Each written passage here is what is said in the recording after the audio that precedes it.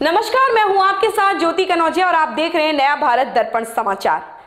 आइए नज़र डालते हैं खबर की ओर। गुरु घासी दास जयंती को ग्रामीण जनों ने धूमधाम से मनाया एवं छात्रों द्वारा वार्षिक स्नेह सम्मेलन में रंगारंग कार्यक्रम में भाग लिया। संत गुरु घासी दास की छाया चित्र में माल्यार्पण करते हुए बड़ी संख्या में ग्रामीण उपस्थित रहे, जिसमें महाविद्यालय, पचपेड़ी की छात्र छात्राओं ने मनमोहक नृत्य प्रस्तुत किया।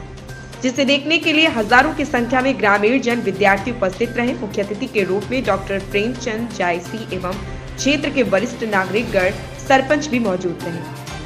इस मनमोहक प्रस्तुति ने सभी क्षेत्रवासियों का मन मोह लिया। डॉक्टर प्रेमचंद जायसी ने कहा कि सन 2002 से इस महाविद्यालय की उच्च शिक्षा अग्रसर की ओर बढ़ रहा है।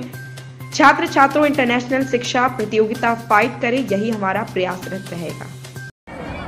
सन 2002 से उच्च शिक्षा की ओर हम अग्रसर हैं। लगातार बच्चों को हायर एजुकेशन में आगे ले जाने के लिए लगातार ये संस्था प्रयासरत है और आगे हमारा ये प्रयास है कि प्रोफेशनल कोर्सेस यहाँ पर संचालित हो और यहाँ के बच्चों को उच्च शिक्षा में एक नया मुकाम हासिल करे, एक कॉम्पिटन एक कंपटीशन फाइट करे, प्रतियोगी परीक्षा फाइट करे, ऐसा हमारा उद्देश्य है। खबर में बस इतना ही। बने रहे नया भारत दर्पण समाचार के साथ।